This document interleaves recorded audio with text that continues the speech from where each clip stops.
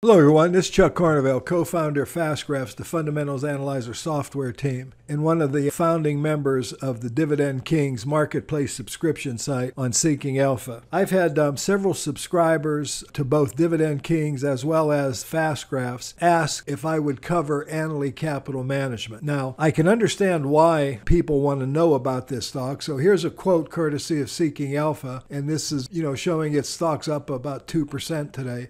But here are the things that really I think attract investors. Number one is the forward yield is 11.93%, and the stock is trading at a PE ratio of 8.01. So at first glance, those look like exceptionally exciting attributes or statistics. Now, allow me to dig a little deeper into that by moving on to the fast graph. And so far, all I have here is a plotting of operating earnings. Now, I'm using a blended PE ratio here. So we're showing a blended PE of 7.69, slightly lower than the forward number.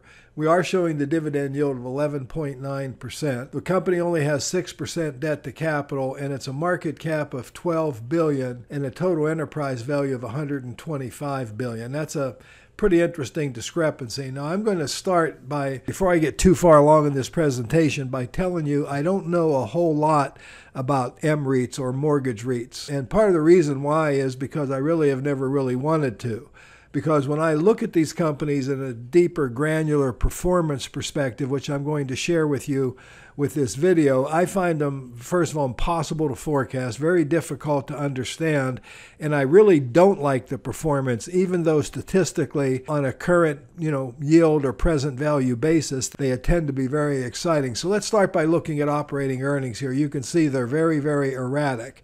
Now, there is a reason for that and that reason has to do with dilution, which I'll get to in a moment. But let me build this graph now. Next, I want to do is I want to put monthly closing stock prices on the graph. And I do want you to see that there is a correlation here between price and earnings activity over this time frame. This goes back as far as I can with fast graphs to the beginning of 2000. You can see when we had a surge in earnings, we had a surge in price. Price stayed high on this basis. And then we had a, a drop in earnings. And then we had, you know, significant kind of drop in earnings going from the peak here to here. And you saw a significant drop in price. Now, when I put the normal PE in here, I think this is important from a present value perspective. I want to emphasize present value perspective that this stock normally trades at about an 8 or 9 PE ratio. The blue line here on this graph represents a normal PE of 8.7. So we can round that to 9 these are valuation perspectives. When I look at that, you know, it's obvious that that's about where the market has consistently valued this stock. But I want to make a clear point here. You could have bought it here at a 9 PE or 8.8 PE ratio, which is consistent with this 8.7, you know, normal PE, but you would have still lost money owning this stock over this time frame, or you'd have made absolutely no money over this time frame. And the value of the stock would have gone from $17 down to 8 it would literally have been cut in half but i'll get more of that later. Okay so the point is just because a stock is attractively valued has what looks to be a low pe what's really important is that the earnings in this case the e has to be increasing for that to be attractive. Now the next thing i want to add here is i want to add dividends and the dividend payout ratio. This is a very telling part of the graphic as well in my opinion because what i want you to notice here and we're going to look at that in more detail detail, the payout ratio tends to be very high. Here it's 124%. Here it's about 94.5%. So obviously, when the, the white line here is above the orange line, it's you know, obviously offering a payout ratio higher than its earnings level. But I also want you to notice something else. The reason I said in the written portion of this presentation that I don't consider this suitable for retirement accounts. So let me then add the dividend payout after it's been paid out here. And you can see that this thing, from a dividend point of view, it throws off a lot of income, but it doesn't consistently throw off a lot of income. There are numerous dividend cuts that you'll see in this graphic. So I'm going to start with the longest graph I can. And technically, this was a period where it was undervalued, where the blended PE was only 6.34, if you look at the bottom of the pop up there.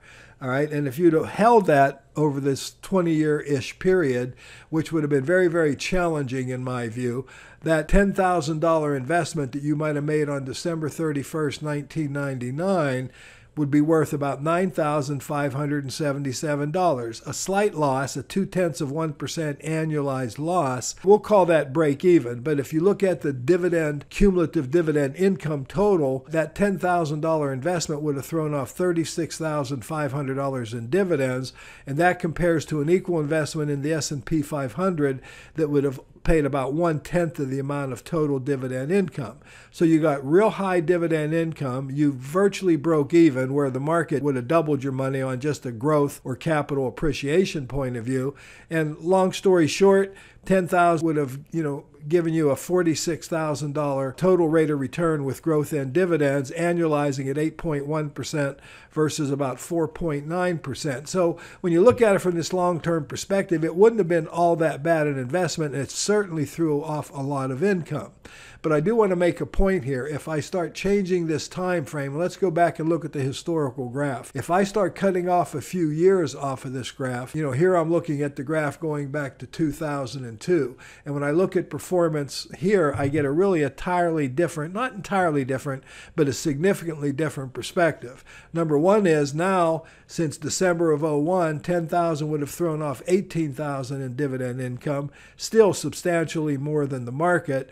But now my original $10,000 investment would have depreciated or been cut almost in half. My principal would only be worth $5,237.50 my total rate of return would only be 23,000. That's dividends plus capital depreciation in this example. So I end up with about a 4.9% annualized rate of return versus a market return of 6.9, but I did get a substantial amount of dividend income.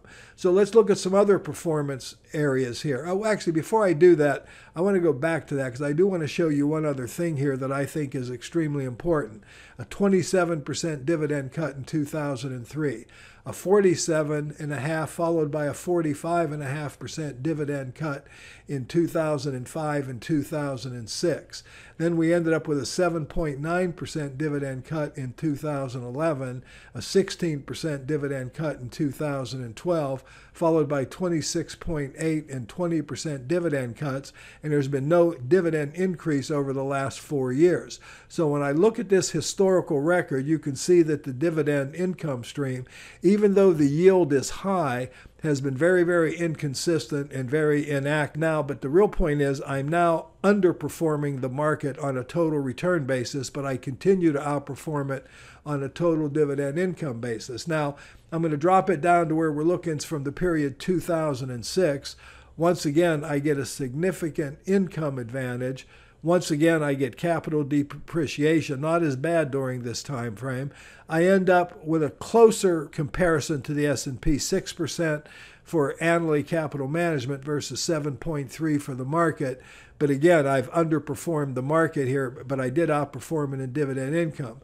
If I draw it just since 2011, I want you to notice that you get really, you know, you still get a dividend income advantage. You once again lost about half of your money over this time frame, and you average less than 2% a year total versus 13% in the market. So the point of the story is I don't consider this really suitable, even though it does throw off a lot of income you know, it's not predictable income. It's not income that is steady. It's not income that grows every year, which is what I tend to favor. But there's one other point that proponents of these things like to show, and they like to say these things, you know, really outperform during recessions or bad markets. And there's some truth to that. So let me use my scroll bar here and let's take a look at how Annaly would have performed during you know, just prior to the 2001 recession and then just after it. So when I look at performance over this period, what I discover is that I end up with a significant advantage over the market on both dividend income and capital appreciation, and I dramatically outperform the market. And that's really, you know, excellent. However, as I mentioned in the written portion, these bad markets, these recessions don't tend to last very long. So if I extend this out a little bit and carry this out to where we have more of about a six or seven year period here, now I look at it, I still outperform on dividend income. My outperformance on capital appreciation is less, but I dramatically outperform the market over this time frame.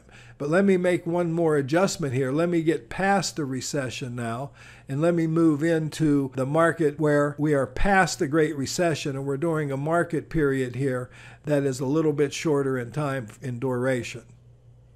So here I'm looking at the time frame 2003 through 2007, or we're now well past the 2001 recession and we're getting approaching the recession coming up in 2008. But during this 5-year time frame, if I look at performance, Annaly dramatically underperformed the market on a capital appreciation basis, outperformed it on a dividend income basis, but dramatically underperformed it on a total return basis. So, once again, these bull markets tend to last longer than these bear markets. Now, let's look at what happened during the Great Recession. So by scrolling back into this time frame, I'm looking at 2007, the beginning of 2007 through 2010. Remember, the recession ended in the middle of 2009. Now, that same $10,000 investment over this time frame, beginning in December of 2006 and then ending in, in December of 2010, we'd have generated significantly more dividend income than the market, and we outperformed the market dramatically. The market actually has a negative growth rate or capital appreciation record during this time frame. And Annaly would have actually made you some profit, averaging about 6.5% annualized here. You add the total up, and the Annaly Capital Management dramatically outperformed the market. So I will give some credence to the fact that the, you know these mortgage REITs do tend to outperform during the recession. But now, if we move away from that recession and then look at what Annaly has done post the Great Recession, this is a long term, much longer time frame now. What we see is a totally different picture. Now, a $10,000 investment made in December of 2010 would have still thrown off almost 7,000 in dividends compared to almost 2,500 for the S&P, but you'd have lost over 50% of your capital, and you'd have ended up with a total annualized rate of return of just a meager 1.8% versus 12.4% for the uh, S&P 500. But let me um, point something out. Let me move on now and point something out about these mortgage REITs that I really don't like. In order to do that, I've moved on to FUN Graphs, which stands for Fundamental Underlying Numbers. And what I'm looking at here is operating cash flow for Annaly from the period 2006 through 2018. And what I want you to notice is the, the significant periods where we had negative operating cash flow. And that ex- partially explains why this company is cutting their dividends so much. They really aren't generating the cash flows to support the dividend. But there's another reason and part for that that I, is the part that I really don't like, and that is dilution. Here I've moved on to common shares outstanding. I'm only going back to 2005. If you've looked at this longer term, you'd see it's even a lot worse than I than I'm showing here. But they went from 122 million shares in 2006 to 1.2 billion shares by the end of 2018. By the end of 2019, these are quarterly numbers here now. I've switched to quarterly. We're at 1.456 billion shares. You know, just over the last several quarters, you can see that the growth you know of the share count has increased dramatically.